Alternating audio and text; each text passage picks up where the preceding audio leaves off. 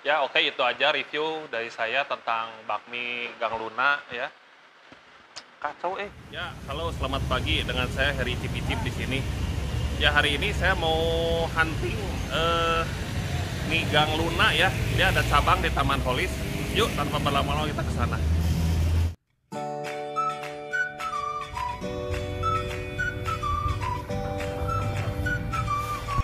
Pagi Pak.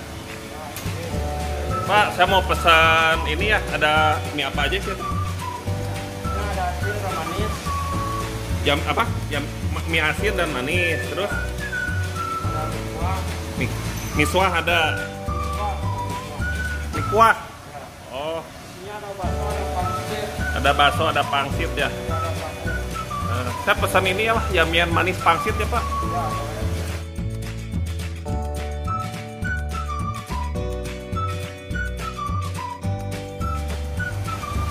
Penyajiannya sama percis ya.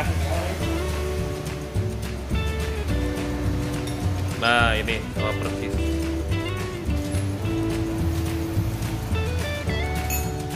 Nah, hari ini saya pesen ke pangsit aja ya, biasa sama bakso. Ini yummy banget. Anda bisa lihat mie-nya juga. Oh, pure cut.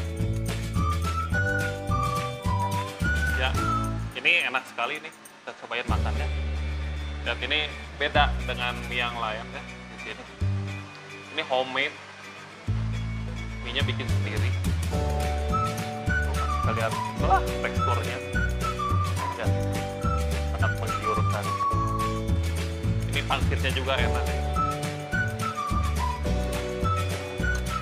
Sebelum makan, kita pakai kerupuk dulu.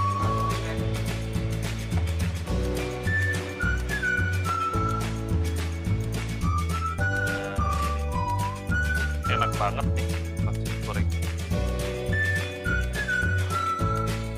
pakai saus jangan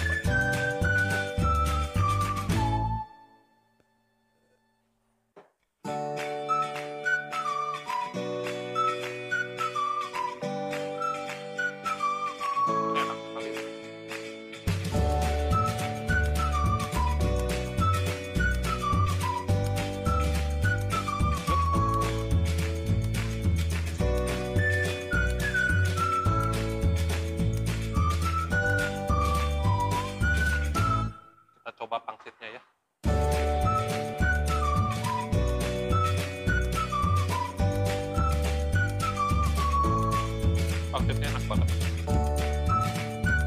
Udangnya berasa banget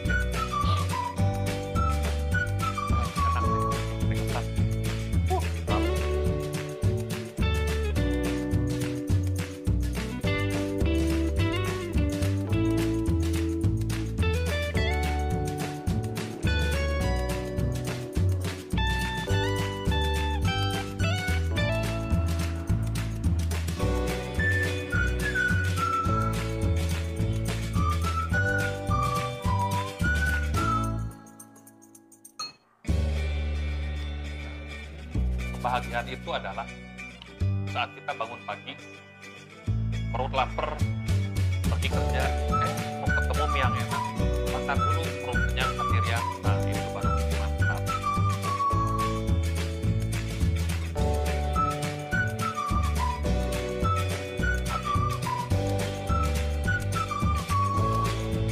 Duh, akhirnya kenyang juga. Dan oke, jadi gitu aja review tentang mie lejat ini.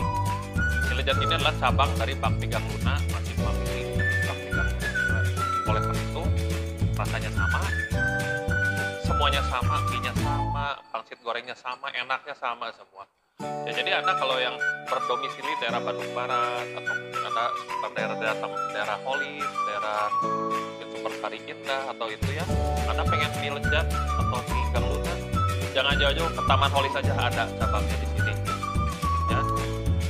Kalau Anda senang dengan konten saya, jangan lupa klik like, subscribe, dan jangan lupa tekan tombol loncengnya supaya Anda mendapat info-info terbaru dari saya mengenai kuliner di mana pun yang akan saya kunjungi karena saya masih banyak sekali tempat yang akan saya kunjungi dan saya review. Oke, itu aja dari saya. Ya, salam bicip-bicip.